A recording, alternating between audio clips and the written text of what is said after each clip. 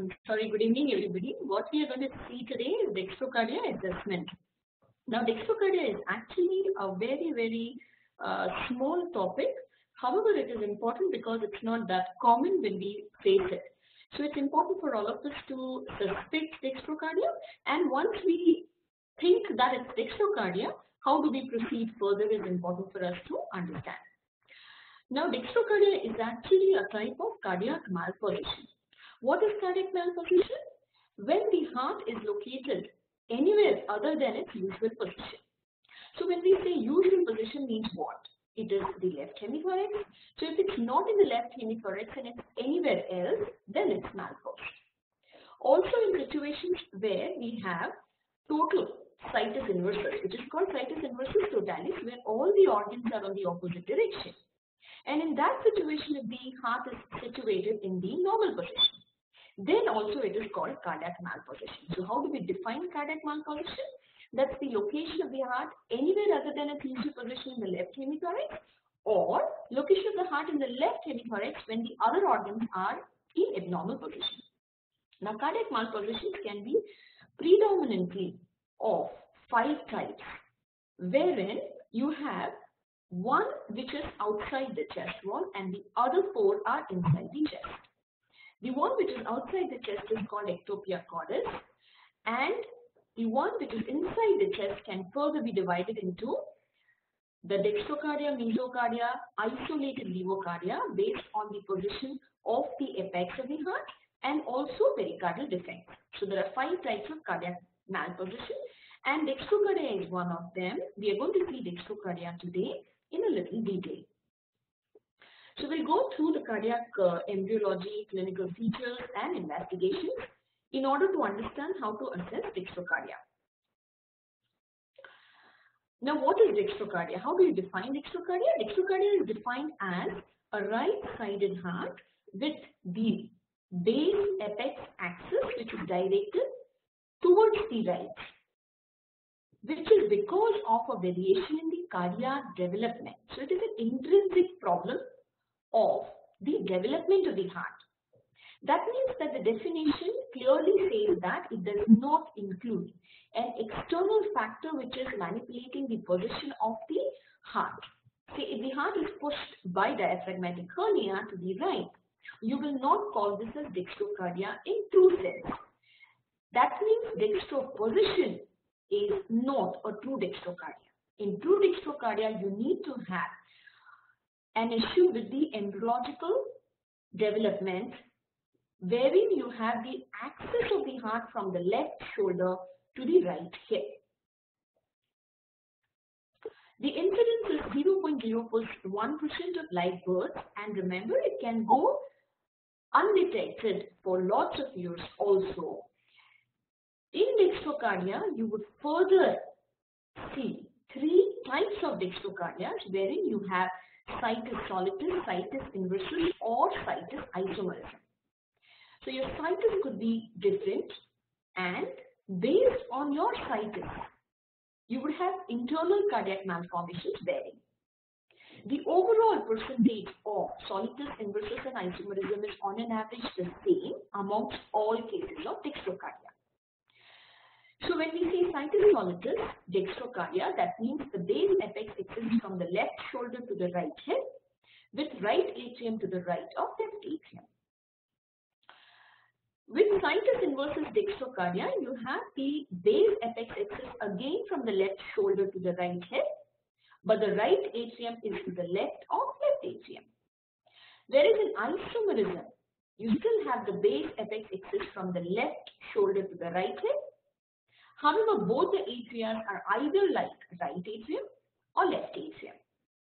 In general, when we say situs solitus, we are understanding that the visceral situs and the atrial situs are hand in hand, which mostly happens. Occasionally, you can have discrepancy between the two. Now, individually, when you consider if it's situs solitus dextrocardia versus inversus dextrocardia, there is a major difference when you suspect intracardiac malformations. Cardiac malformations are much more commoner when you have solitus dextrocardia compared to inversus dextrocardia. When you have solitary dextrocardia, your heart diseases are also not only common but even more complex. Most of the solitary dextrocardia hearts are abnormal. Compared to situs inversus dextrocardia, most of them are normal. However, they have other morbidities like absence of cilia, etc. to create issues in long term. Now with this understanding, we will see further dextrocardias can be of two types, primarily based on the situs. However, it is more related to the embryological understanding. The first one is called the true dextrocardia or the mirror image dextrocardia, wherein you have the situs which is usually inversus. So this goes with totalis, situs inversus totalis, where you have situs inversus and the apex is to the right. However, your situs is abnormal. So its right atrium is to the left of left atrium. And the right ventricle is the anterior ventricle in this type of dextrocardia. Now remember, otherwise also the RV is the ventricle which is anterior. The second type of dextrocardia is called dextroversion dextrocardia, which happens with situs solitus. Why does it happen when the uh, situs is solitus? It happens because there is a problem with the pivotal axis of the heart. That means what? The axis of the heart is from the base to apex and there is something which happens during uh, the rotation because of which the heart comes and lies in the right side of the chest. Because of which the LV is the anterior ventricle. So something happens in terms of rotational axis of the heart which is not correct. And in such a way it rotates that the left ventricle comes to lie anteriorly and the whole heart is then lying to the right side of the chest with the axis towards the right hip. So this is dextroversion dextrocardia. And as we decided, dextroposition is primarily not a dextrocardia and it's a situation where heart is in the right side of the chest but it has the apex still to the left. I hope this is clear. Um, so the mirror image dextrocardia has inversus and the dextroversion has situs solitus. I will also include a little bit of dextroposition when we are seeing echo images because it's important for us to differentiate dextroposition and dextroversion. Why is it like that? Because dextroversion is also situs solitus and dextroposition is also situs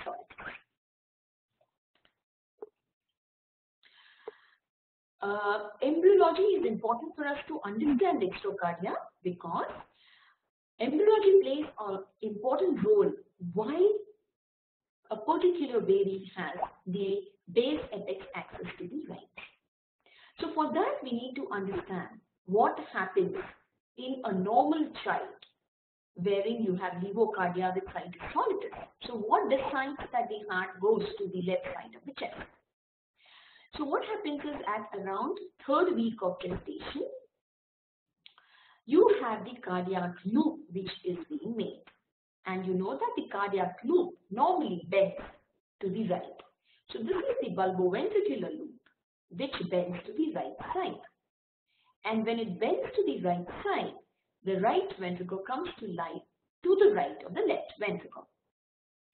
Now soon after that in few days, once the looping happens on the right side, the apex of the heart migrates towards the left of the thorax. So this is a principle of a development of heart where the looping exactly happens in the direction where after that the apex of the heart migrates in the opposite direction. So the apex migrates in the direction opposite to the looping. In a D-looped ventricle, it moves to the left of the thorax. Now if there is a D-looped ventricle and this normal leftward migration of the whole cardiac mass does not happen. Then it causes dextroversion with situs. So this whole migration does not happen to the left chest. Then you have situs solitus D-looped ventricles and dextrocardia.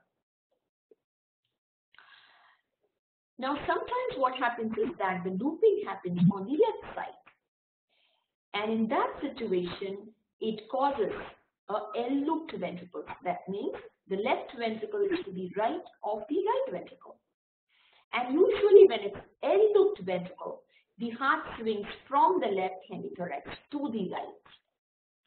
And hence, normally, what you will have is situs inversus, L-looped ventricle, and mirror image dextrocardia. And that is what is true dextrocardia in situs inversus totalis, wherein you can understand why the heart is structurally usually normal. Now, if this shift of a L-looped ventricle does not happen, then it is going to cause levocardia with situs inversus. I think we will go through this once again. As we said, if it's L-looped ventricle, the heart swings from the left to the right. If this left to the right does not happen, then you will have levocardia with situs inversion, which is actually a very rare entity. So levocardia with situs inversion is also possible. Now, with this understanding, we will just summarize what we saw in the last two slides. As we saw, cardiac apex pivots to the hemithorax opposite the bulboventricular looping. So in general, D-looped ventricles, left hemithorax, L-looped ventricles, right hemithorax. And this usually happens when you have atrioventricular concordance. And when you have atrioventricular discordance, somehow the whole process doesn't happen mm-hmm. systematically and the heart comes to lie in the center of the thorax which is called mesocardia.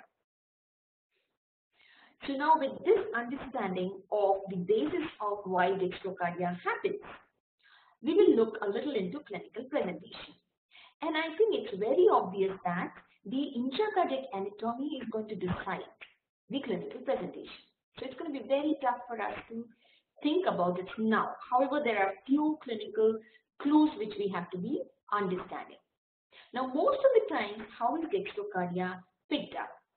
Now, sometimes if the child is completely fine, it gets picked up when the child goes for a chest x-ray on incidental uh, pickup or on a routine examination it gets picked up. However, there are two syndromes which we need to understand which are related to dextrocardia and hence if a child has the following few signs then it's important for us to look hard into detail. The first is the Poland syndrome which happens with situs solitus dextrocardia and the second is Goldenhar syndrome which happens with situs inversus dextrocardia. Now the Poland syndrome is characterized by absence of pectoralis major, ipsilateral syndactyly, polydactyly and hyperplasia of the hand. So it predominantly has the upper arm and the finger issues. There is Goldenhar syndrome as you know is called the oculo-auricular-vertebral dysplasia with facial microsomia. And it happens with situs inversus totalis wherein we also have dextrocardia.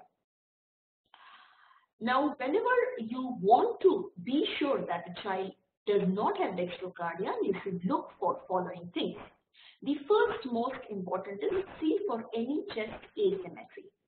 When it's dextrocardia, with a congenital heart disease, you might find the right chest a little more prominent. Then look for gastric tympani, hepatic dullness and cardiac dullness on percussion and then see if you have prominent heart sounds on the right side of the chest. Associated intracardiac abnormalities as we uh, discussed happens much more common with situs solitus and much less common with situs inversus.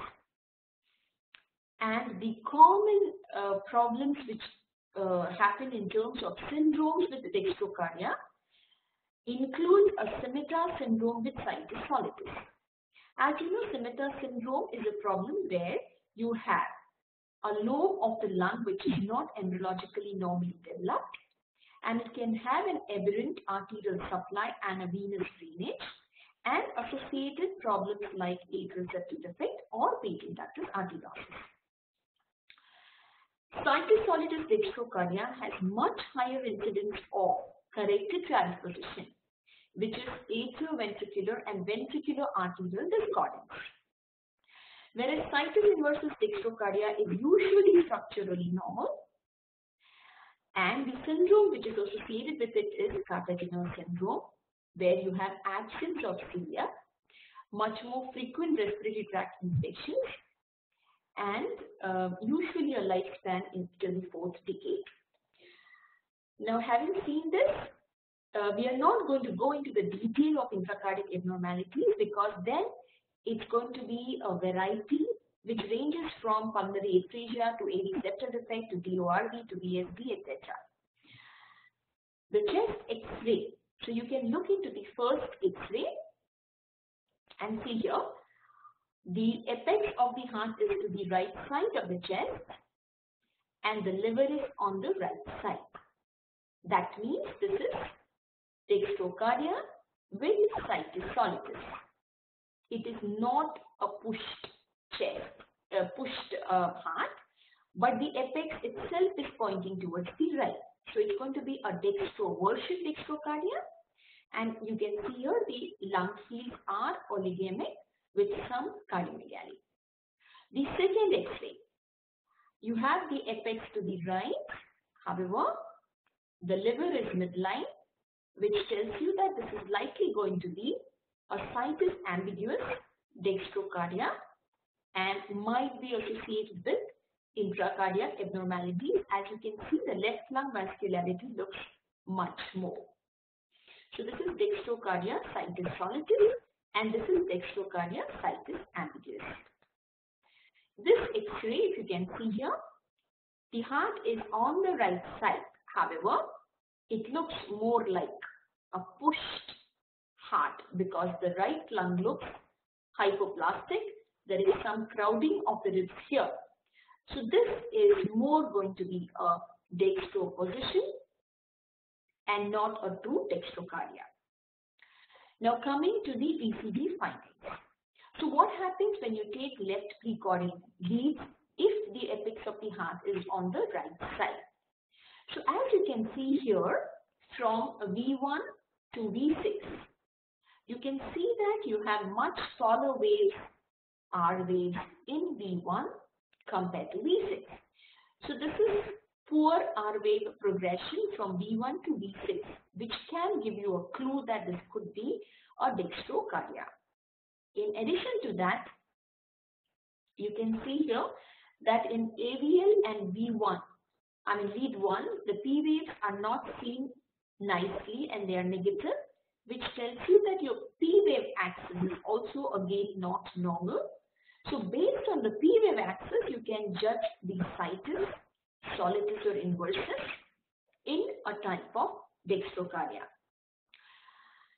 And then internal cardiac problem is going to give you more changes in terms of presence of Q waves in V1 might indicate that septal depolarization is not normal and it is probably uh, L-looped ventricles, etc.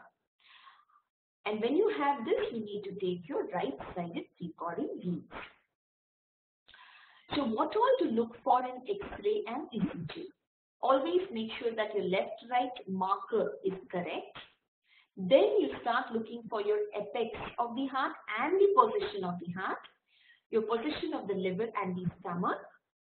Remember we spoke about scimitar. So see for any scimitar shadow, which is like a sword shadow on the right border of the heart, which could indicate that your right lung is not normal and hypoplastic see for any non-cardiac mediastinal concerns in terms of collapse or smallish right lung or herniation. And in ECG, look for your P wave axis, your septal Q wave depolarization of the interventricular septum, and always get a right-sided precordial chest uh, lead ECG. Now with this understanding, we are going to go to the echocardiogram which is the most important understanding in dextrocardia. And there are two basic principles here. Do not use your left right button invert. Uh, some people do use this so that it gives you a little more comfort in understanding the intracardiac anatomy. However, the principle is never ever use it so that your understanding of left and right becomes very very clear. And second is always start your echoes from subcostal. This is true for any child which is going to give you a clue about dextrocardia just as soon as you put your probe. So this is levocardia, the first image. This is dextrocardia where your apex is towards the right and this is mesocardia. So your subcostals is very, very important. And as you proceed with your echo, this slide particularly will help you. So let us just go through this slide before we go into the individual understanding. And what we are going to see first of all is the true dextrocardia, which is the situs inversus dextrocardia, wherein you have your left atrium to the right of right atrium. What happens in dextroversion and dextroposition? Both of which are situs solitus, wherein the right atrium is to the right side of the left atrium. So as soon as you put your subcostals and you know that your heart is towards the right, then you further subdivide it based on your situs. So you look for your IVC and aorta also. And if your aorta is to the left and IVC is to the right of the vertebral column, then it's going to be situs solitus. And then you sweep and make sure where your right atrium and left atrium is. Whereas in inversus, your aorta is going to be the right side and IVC to the left side of the vertebral column. Now coming to the next step. If it's situs inversus, you're very clear. This is true dextrocardia. The problem happens when you have solitus.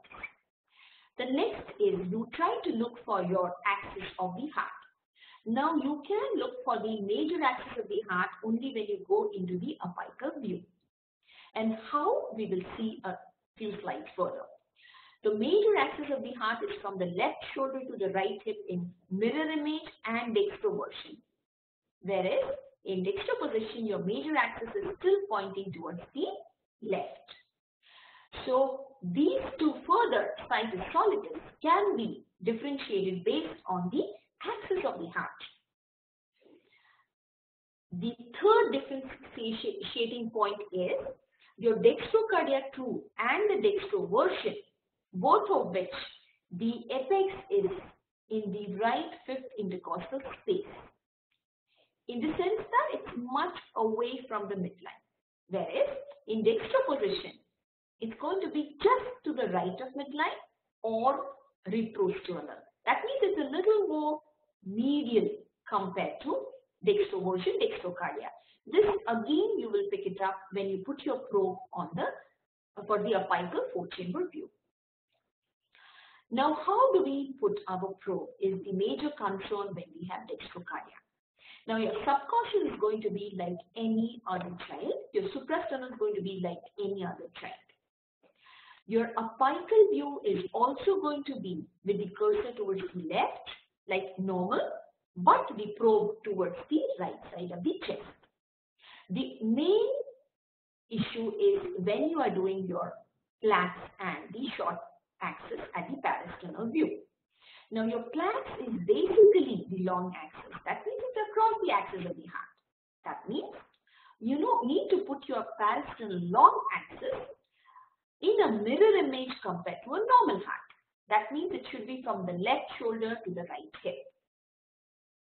And when you come to the short axis, you will rotate it 90 degrees forward. True dextrocardia, there is in dextroversion, you might have to just rotate by few degrees and it still comes from the left shoulder to the right hip. So it's not exactly like true dextrocardia. Whereas in dextro position, your transducer is like a normally uh, oriented heart transducer because your base apex axis is like a normal heart. So your orientation of PLAX is again going to be from right shoulder to left hip and short axis from left shoulder to right hip. We will see it in the next slide. If there is a confusion, we will repeat this once again.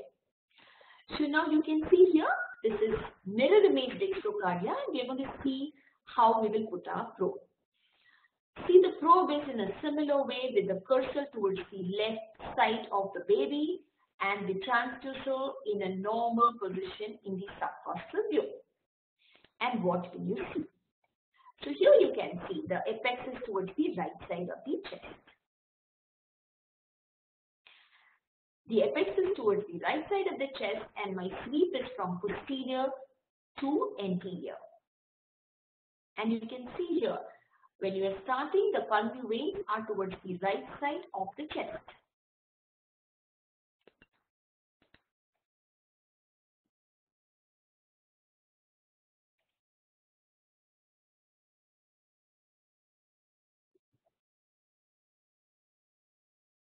This is the right ventricle because it has septal attachment.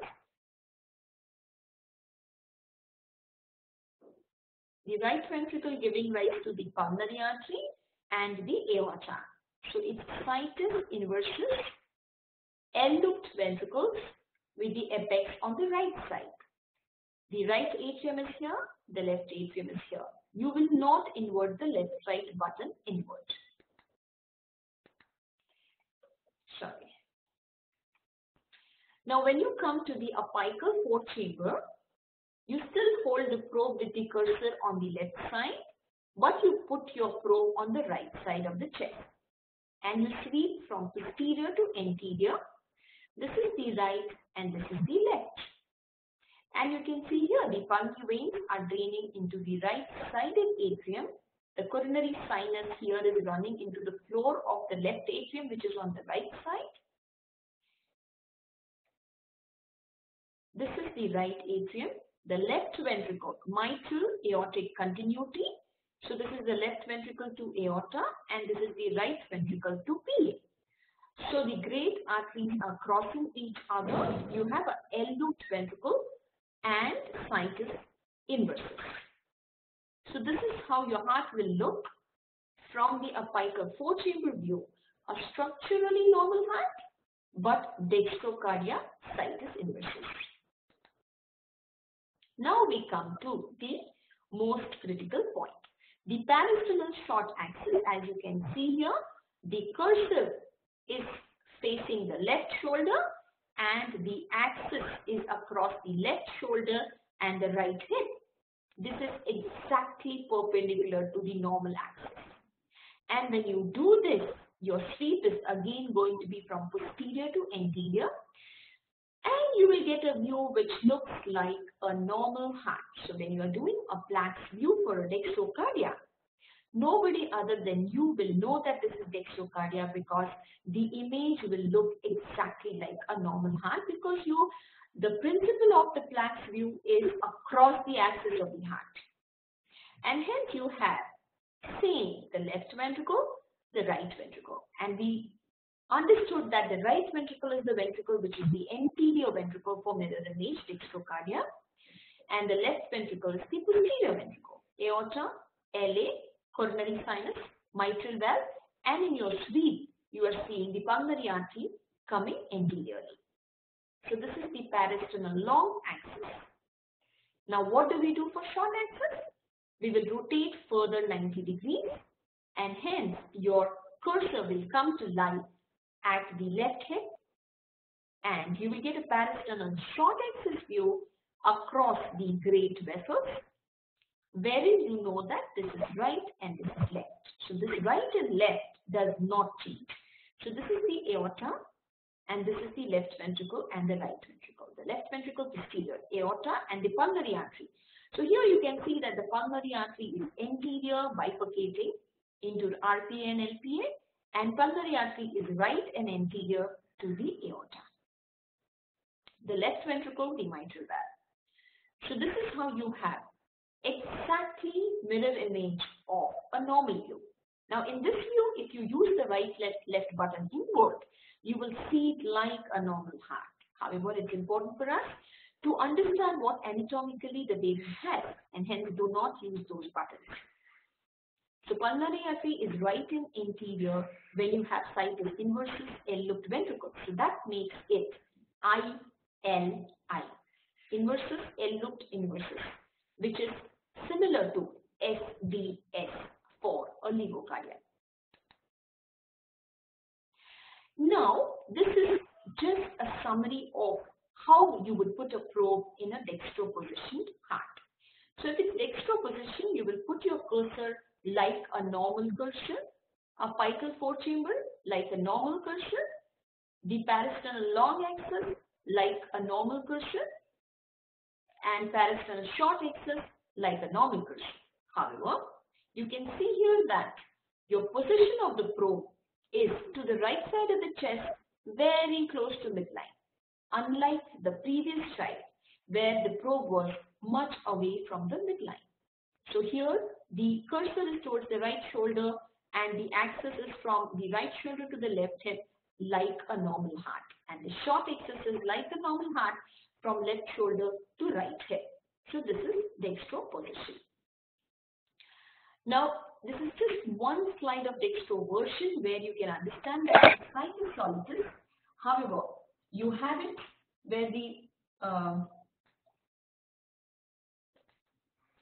you have the dextro uh, version where you have the uh, apex towards the right side of the chest but situs solitus.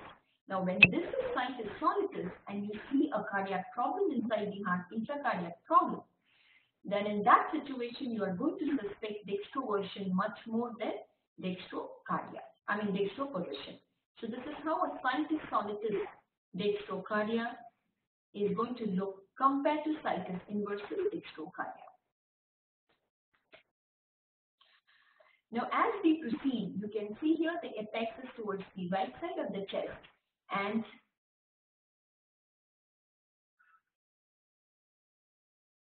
there are two AV valves with a large inlet VSD